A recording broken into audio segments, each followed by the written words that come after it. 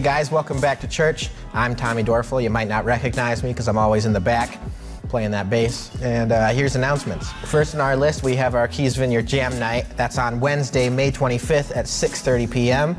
After that is the Summer VBS. That is June 14th through 16th. That's three days from 9 a.m. to 12:30 p.m. All three of those days. You can register online or in the app, and make sure you download the app if you haven't already, so you can register. And we want to get as many volunteers as possible. That'd be pretty cool, I think. And lastly, I hope you will enjoy this service. So uh, here we go. Woo! Good morning, Vineyard family. We're so excited that you're joining us as we enter into worship, and I can't wait for you to hear what Pastor Doug has for us today. We are on part three of the fruit of the Spirit. Do you remember what fruit we're doing today? Have you memorized the Bible verse yet? Okay, are you ready? I'm excited.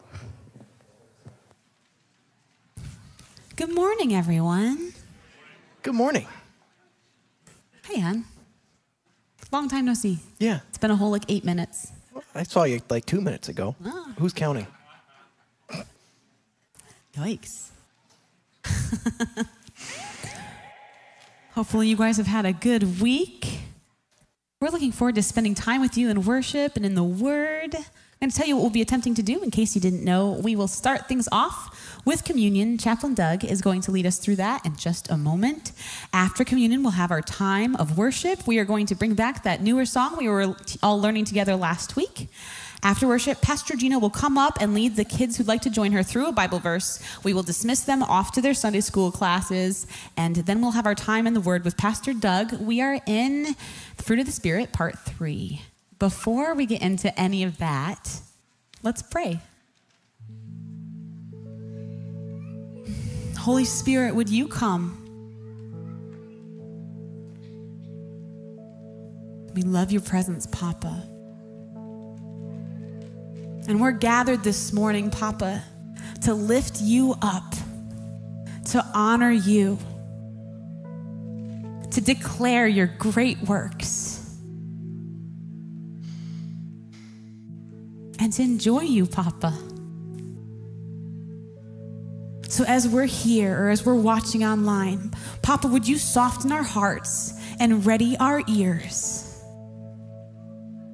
Papa, we want us we want our hearts to be changed. We want our hearts to reflect your heart. Help us to draw closer to you. And we join with all the churches around the world where your gospel is preached with this collect. Almighty God, you alone can order the unruly wills and passions of sinful people. Grant that your people may love what you command and desire what you promise, so that among the many and varied changes of this world, our hearts may be firmly established where true joys are to be found. Through Jesus Christ our Lord. Amen. Chaplain Doug. On the night he was betrayed, Jesus took bread and he broke it, saying, This is my body, take and eat in remembrance of me. In the same manner, he took the cup. It was the last night of the Passover celebration. The cups of plagues and sanctification had already been poured and celebrated. Jesus takes the third cup, which is the cup of redemption. He said, This is my blood poured out for you. Drink this in remembrance of me. Gathered with his friends that evening, Jesus gives us a lasting ordinance or remembrance, which we call communion or the Lord's table or the Lord's supper. He said, From now on, when you get together and partake of this meal, I want you to remember me. And as his friends gathered here today, we too can partake of this meal the bread and the cup, the body and the blood of the Lord. And we want to remember and give thanks. We want to remember all that Jesus has said and done and promised to do. We want to remember his willingness to go to the cross on our behalf. We want to remember how he defeated death and rose again, and we want to remember with awe and thanksgiving that he's coming back for us soon. So, here on the table are the elements of communion the bread, the cup, the body and the blood of the Lord. The table is open to all who believe. So, as we worship this morning and you feel led by the Spirit, please come, partake, remember, and give thanks. Amen. Amen. Thank you, Chaplain Doug. We're going to enter now into our time of worship together, and I'd encourage us all to sing out and to lift our voices as we elevate Jesus in our midst. We're going to see the words pop up on all the screens. You guys are welcome to sit, but stand if you're able. Praise God from whom all blessings flow.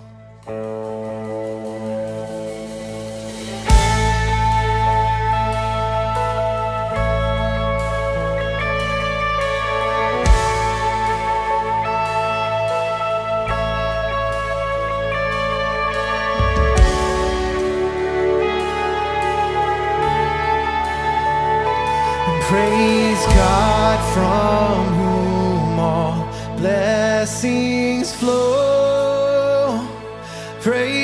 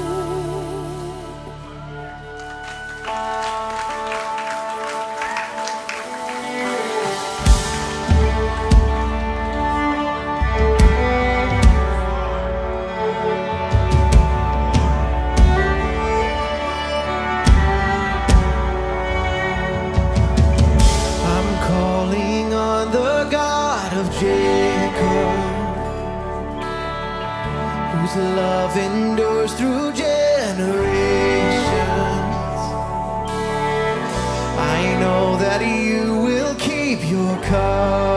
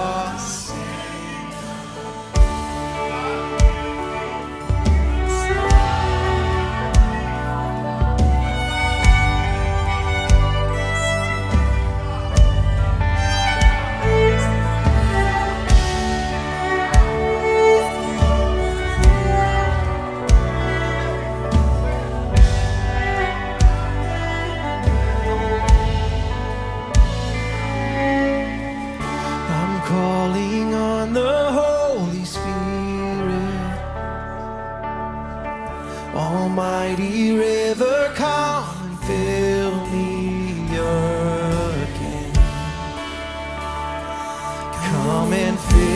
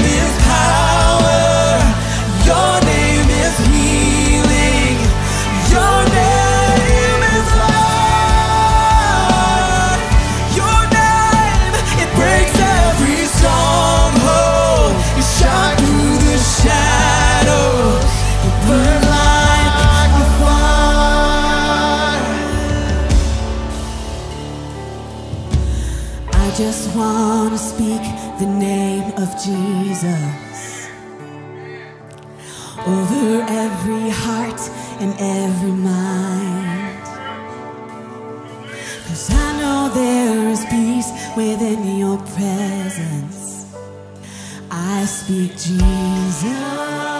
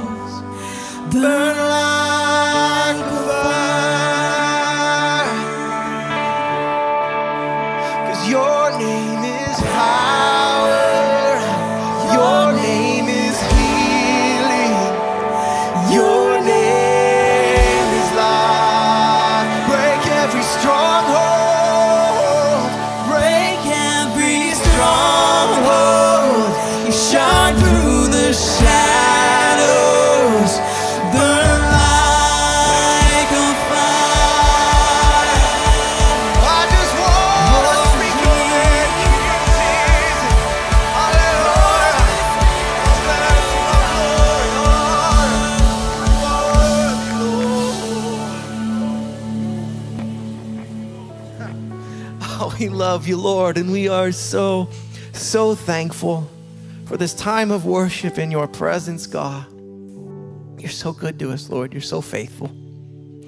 And Lord, as we are here in your presence, I'd ask that you be with us as we prepare to study your word. Lord God, would you anoint the words that are spoken, that are taught? Use those words, God, to stir up our hearts towards you. And Holy Spirit, I'd ask that you'd be with those working with our children. God, anoint them, give them everything that they need to show all the kids your wonderful love for them, oh God. We love you, Lord, and it's in Jesus' name we pray. Amen. Amen. And Pastor Georgina, would you please come up and teach the children a Bible verse? Good morning, boys and girls. So today's story comes from the book that comes after the book of Ruth, and it's from First Samuel. Yes. And First Samuel has this character named this man named Elkanah, and he has a wife named Hannah. Do you guys know any Hannahs? Yeah, cool. Well, this Hannah didn't have any children, and she really wanted a family. Yeah, and then what happened was that every year her her husband would go to the tabernacle to worship the Lord, and this particular year he took Hannah with him, right? And Hannah was there and she started to pray. Yes, she started to pray with, to the Lord and she cried out to him and said, Lord, if you give me a child, I will give him back to you. I will have him serve you, right? All the days of his life. And uh, the high priest Eli saw her and thought something was wrong with her and asked her. And she said, I am just sad and I am just telling God how I feel, right? So he said, he blessed her and said, May God give you what you've asked for. Do you think God answered her prayer?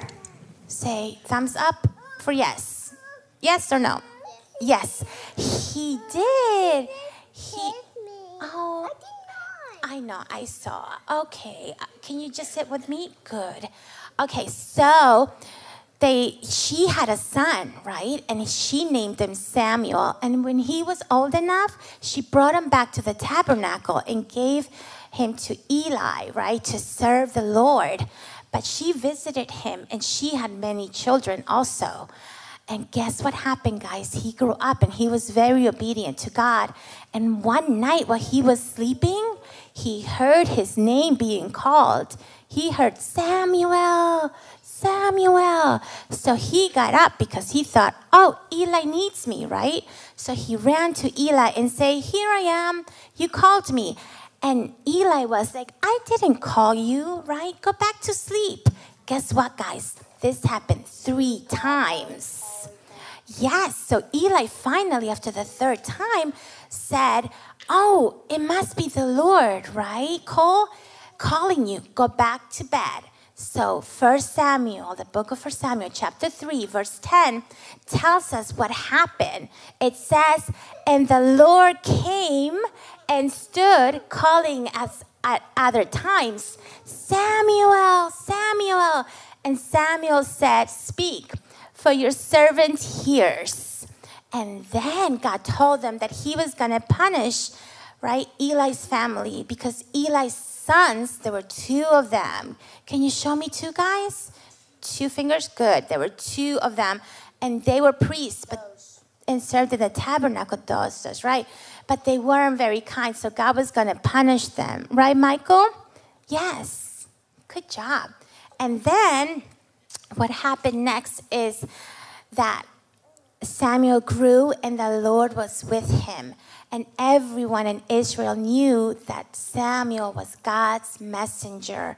God, Samuel told people about God's plan and told them what God was like. But Jesus, right, the Son of God, came to earth as a human and he showed us, right, what God is like. And he told and tells us what God, what God's plan is, right? Very good. Okay. So you guys ready to say the Bible verse with me? Yes. Okay, thank you. All together, okay? First Samuel 3:10. First Samuel 3:10. And the Lord came And the Lord came and stood calling and stood calling as at other times. as at other times. Okay, so now we're going to say Samuel, Samuel. Samuel, Samuel. Good. And Samuel said, Samuel said, "Speak, Speak, for your servant hears." for your servant here. Excellent job, boys and girls. So good. And now we get stickers, right? Well done, kiddos. Hmm. All the children are receiving uh, smiley face stickers of different kinds. I see one that looks like a bear. That's cool. Uh, there was a birthday in the house, right? Was it Ava's birthday? How old are you, Ava? Eight. Good for you. Let's sing Ava Happy Birthday as a church together. You ready? All right, here we go. Happy birthday.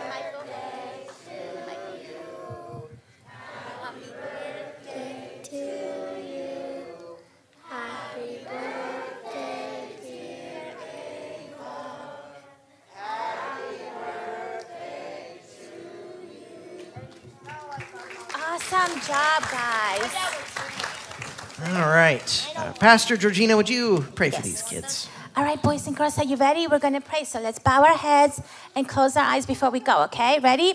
Father in heaven, we are so thankful, Lord God, for your love, Lord God. We're so thankful, Lord God, that you take care of us, Lord. And we're so thankful, God, that we get to hear from you, Lord God, that you speak. Bless you. In Jesus' name, what do we say, guys? Amen. Awesome. Okay, now you can go to class. Amen. Thank you, Pastor Georgina. The children are heading off to Sunday school. They're going to have a great time.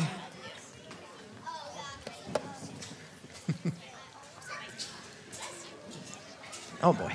Well, welcome once again to the vineyard. It's great to see you guys here. Super excited. Uh, I said I say that a lot. Super excited to get to share again. My, my folks are, are out of town. They send their love. They miss you guys, uh, but they're having a good time. So uh, we're, we're very thankful for them. A little bit of shopkeeping that we do before we enter into our message here. Uh, we had our, our family fun night this last Wednesday, and that was a super successful event. So, everybody who showed up to help, thank you so much for being a part of that. And, and, you know, it was, it was a great event. We, we saw all sorts of families that we had no idea who they were. So, uh, that, was, that was like really cool. That's why we do those events. So, I wanted to say, yes, we did it.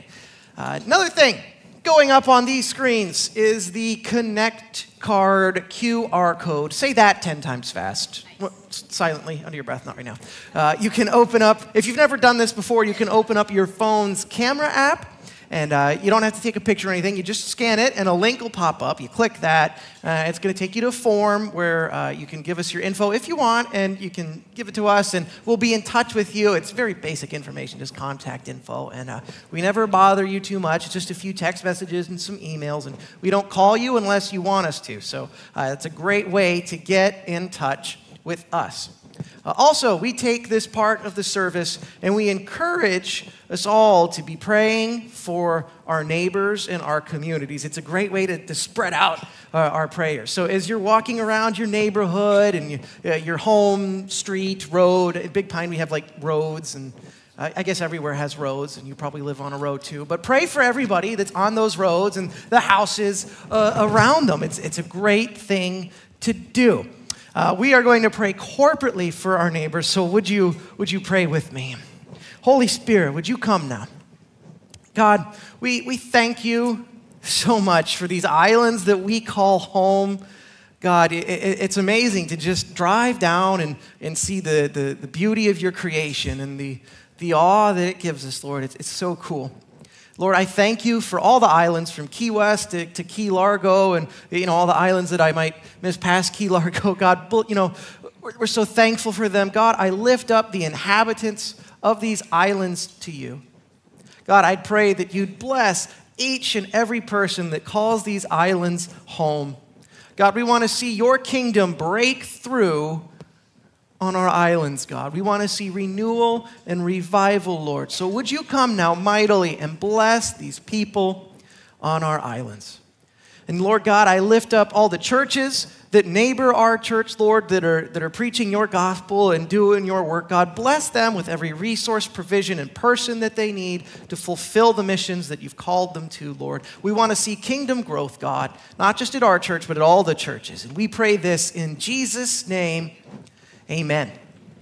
Amen. So, we are in a series on the fruits of the Spirit. Uh, a couple weeks ago, my dad gave us an intro where we talked about how they are the currency of the kingdom of God. And last week, we talked about love, which is right at the top of the list, and that uh, we're to love God and love others with a, a servant hearted love. We're to love as, as Jesus loved. So, we talked about that last week. This week, we will be talking about joy.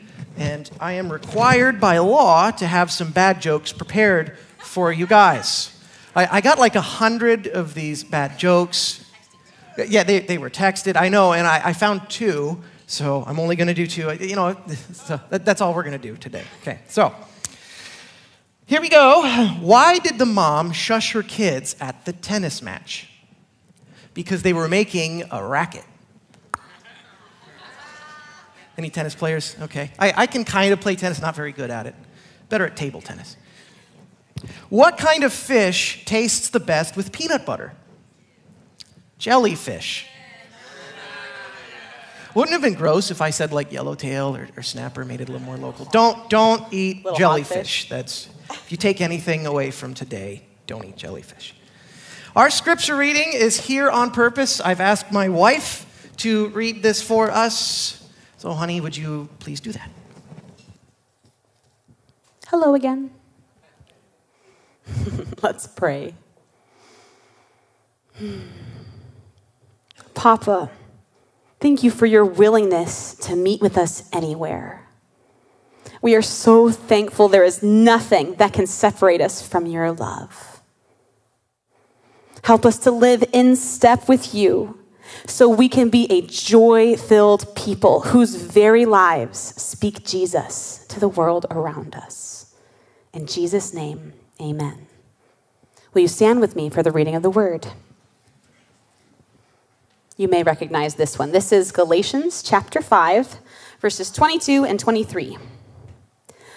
But the fruit of the Spirit is love, joy, patience, peace, kindness, goodness, faithfulness, gentleness, and self control. Against such things there is no law. Blessed be the word of the Lord. You may be seated.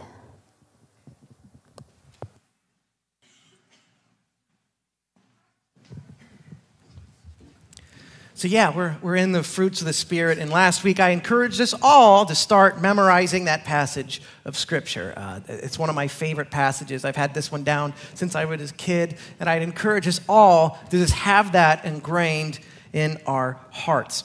Uh, last week we talked about love. Today, I'll be talking about joy and, and what that joy means. And I got to get this microphone on comfy. There we go.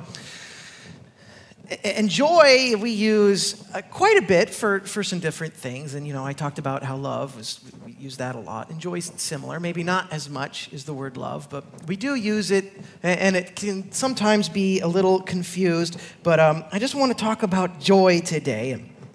Joy simply is just a natural response to a situation or a circumstance, okay? It, it, it's just that. Uh, it's not something that we have to force, it's just something that, that happens. It's like scratching against my beard. There we go.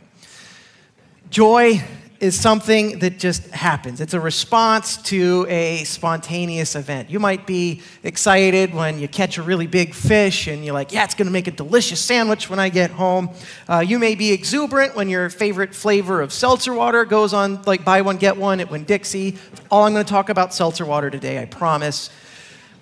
You might feel some joy when your sports team uh, does super well. Recently, we've been following the, uh, the Florida Panthers, and they're, they're really good this year, hockey team.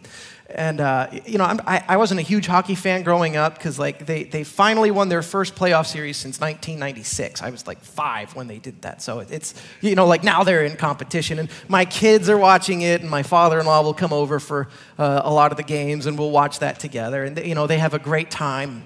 Uh, last month, we got a treat. We got to go see the Panthers play the Sabres. Uh, Tom, my father in law, is a big Sabres fan, and, you know, we're rooting for the Panthers now. Hometown team, woo! And uh, we go to the game, and Buffalo's not so hot this season. Florida's good. I'm like, okay, this is good. Kids will get to go, see their team win. Easy peasy, lemon squeezy.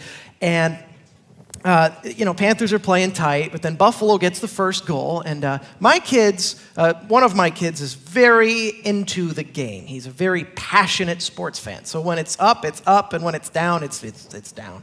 So I'm kind of watching him, and he's doing okay, down one to nothing. And then Florida scores, they're, they're 1 1. And then Buffalo, like 20 seconds later, gets a really cheap goal. It's, it's 2 1. And then by the end of the first period, they're up 3 to 1. And uh, one of my kids is just head is down. He's crying. He's like, "We came all this way just to see this," and I feel so bad for him. My other kids got pizza, and you know there was a Coca-Cola sale, so he's like happy as a clam. He's like, "I don't know what your problem is. Good pizza." and you know, I'm like, "Oh, this poor kid." It's just so sad when your sports team's down. And uh, the Panthers this year have earned a reputation. They're called the Cardiac Cats. Uh, they, they don't like to just win the game right at the start. That's my preference. They like to, you know, make you sweat and they like to come back. So uh, I think they score two goals in the second, and then it's 3 3 in the third, and there's a minute left. And I really don't want to deal with overtime. I, I just kind of want to get home faster. It's a long drive. So I'm like, can we just get an easy one? And, and they get one right by the goal. It's 4 3, and then, you know, the kid's pumped up. So, uh, wh- what I'm trying to say is joy is just that natural response. And when it's placed in something worldly, uh, it, it can kind of do this, right? You know, it, it, it, it tends to be a response to a situation or a circumstance. Uh, this joy that's a fruit of the Spirit, that's this currency kingdom, uh, I want to say this that joy is, this Christian joy, is the emotion of salvation. This joy that we're talking about is the emotion of salvation. This joy that we have is not situational, it's salvational. And I don't know if salvational is a real word, but I'm going with it. I bolded it on my notes. I'd encourage you to write that down. It's not situational, it's salvational. The focus of our joy is on Jesus. Peter says this in 1 Peter chapter 1 Though you have not seen him, you love him. And even though you do not see him now, you believe in him and are filled with an inexpressible and glorious joy, for you are receiving the end result of your faith, the salvation of your souls. Uh, Peter says that this joy is inexpressible. It, it translates to like an explosion. We can't contain it. It's that yeah feeling. That's the feeling that God gives us when we know His love for us. It's this joy that we get, this character attribute. It, this, this joy, it- it's not something that we can force, it's not something that we can just muscle through. It's an emotional response of the heart. That leads me to our second point, and this is where the talk get, that gets cool, is that joy goes beyond our circumstances. Joy goes beyond our situations, our, our, our circumstances, and what's going on. Uh, this joy that we have isn't, isn't flimsy, it isn't weak, it doesn't go down 3 1 at the end of the first. It's with us. It's with us. It's important to hold on to this love that God has for us that gives us joy because adversity is going to face us. We're, we're not promised a life free from stress or, or trials and tribulations. You guys know that. We're not promised that. What we are promised is a way through it. We are promised a way through it. The, struggles that we're facing, these times that we're facing, are not the end game. God has a plan, He makes everything work for good, and God is always with us. That's reason enough for joy. Gospel of John tells us this in chapter 16 Very truly I tell you, you will weep and mourn while the world rejoices. You will grieve, but your grief will turn to joy. Uh, at the last service, I, I, I had this, this mental picture of just somebody's in a, in a room and you know they're at a party right now and everybody around them's having a great time and they're just filled with this, this sorrow and this longing like they just feel joyless and hopeless. So, Lord, right now I pray for whoever that person was. I'd ask that you'd fill their hearts with joy in Jesus' name. Remind them of your love for them. We're told we will weep, we will be, mourn, we will grieve. But God promises us that our grief will turn to joy. There is a way through, there always is. James uh, the, the book of James, very challenging scripture. He comes off swinging uh, with this in verse 2. Consider it pure joy, my brothers and sisters, whenever you face trials of many kinds. That's an interesting passage. Consider it pure joy whenever you face trials. Like, really?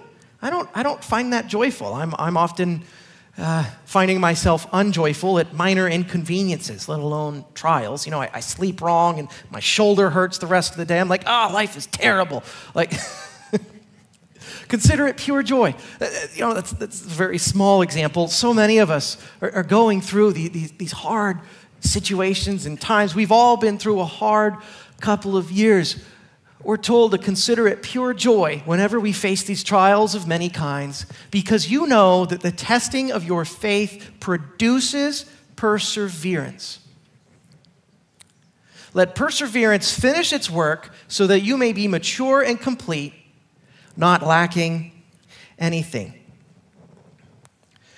We, we read throughout the, the, these themes of, of holding on to the hope that gives us this joy that produces endurance.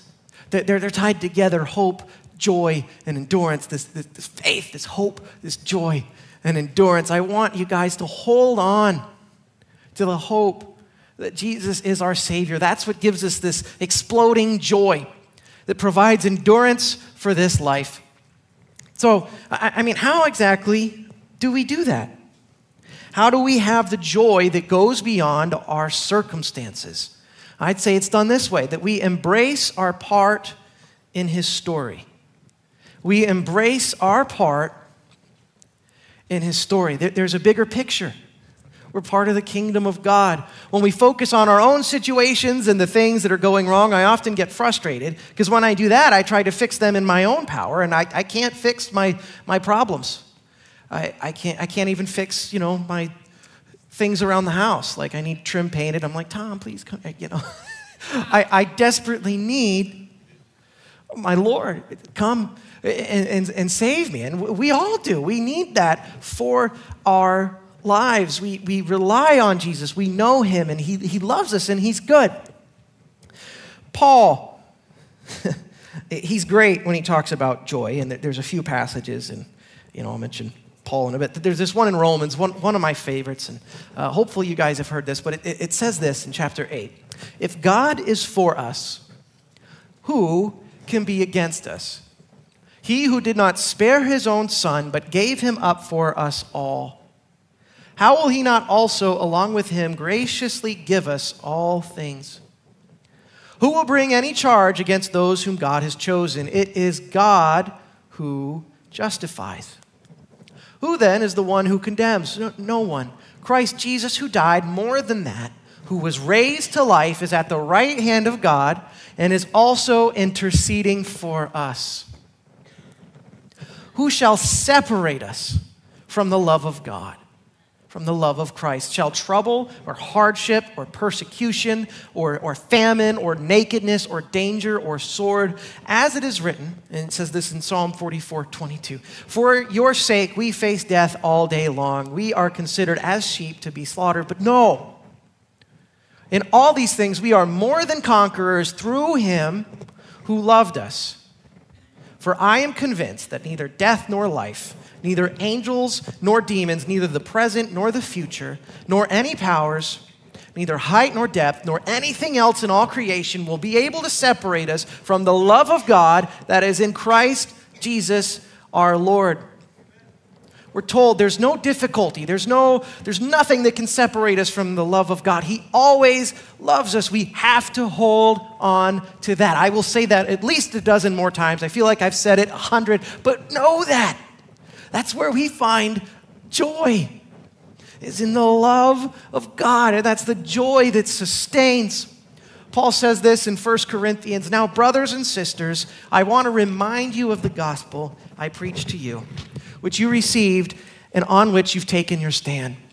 By this gospel you are saved if you hold firmly to the word I've preached to you, otherwise, you have believed in vain.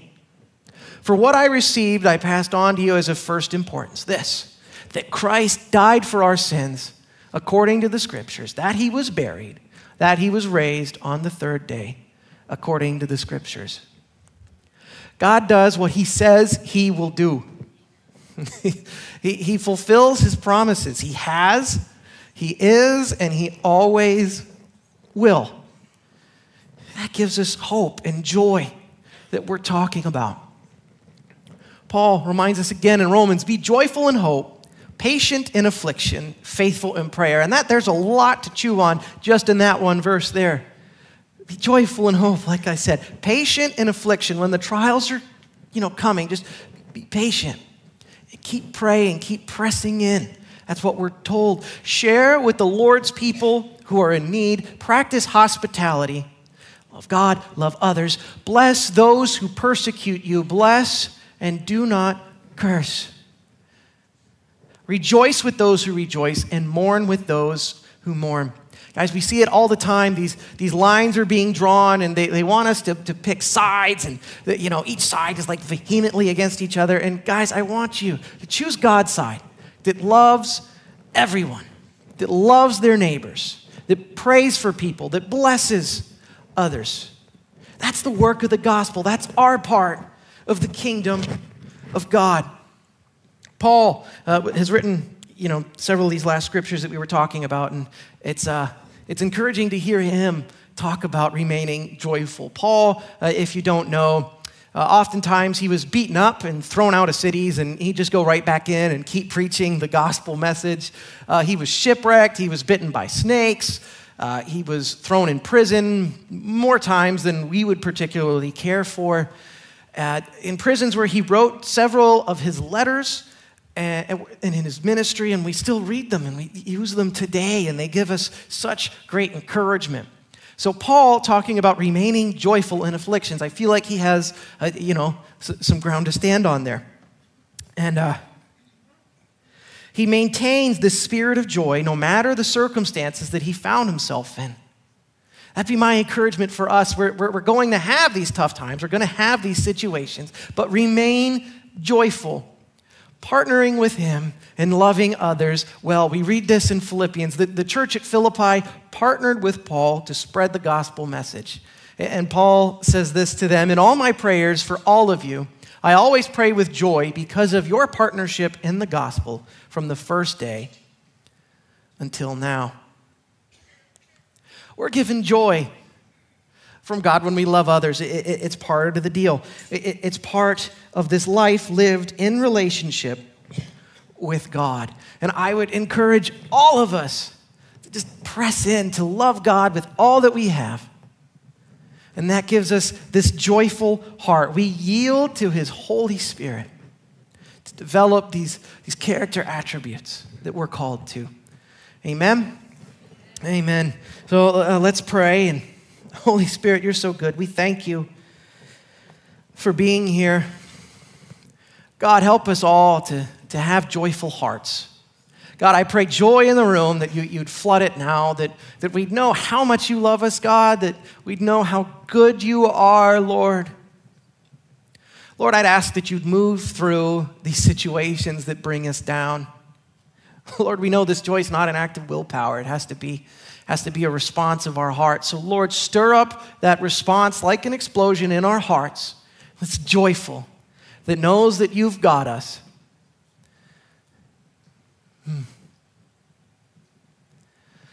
Bring, Lord, your, your awesome presence. Keep bringing it, Lord. I feel it now. You're so good, God.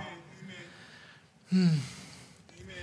Use this place, God, as a beacon, a lighthouse. We, we just want to be a part of your story. We want to be a part of your kingdom. Whatever part you've called us to, Lord, we want that. Bring it mightily.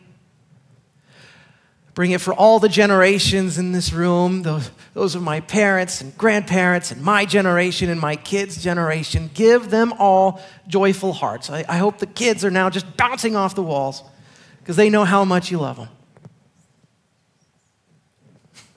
You're good, Lord. We love you and we thank you. You're awesome, God. And guys, thank you so much for your, your amazing generosity in partnering with us. We're, we're so appreciative. Uh, events like the Family Fun Night and, and, you know our outreach and everything we do, the day-to-day activities of the, this church, are made possible by your partnering with us. So we thank you. And if you're interested in doing so, the info's there on the screen. Uh, we will sing the doxology, and uh, it's about to rain children, as my dad likes to say. So let's sing that together. Here we go. Praise God.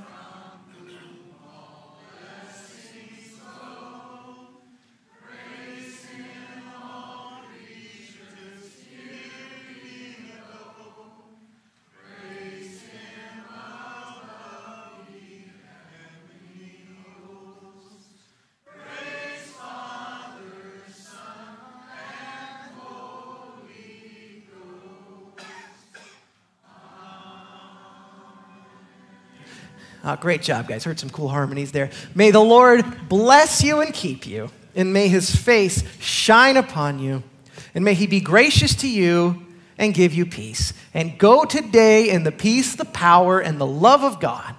God bless you all. Thank you for being here. Remember, be thankful for five things. Encourage two people so we can get one lost child back to dad. Catch some fish. Hope your team wins. See you later. Bye.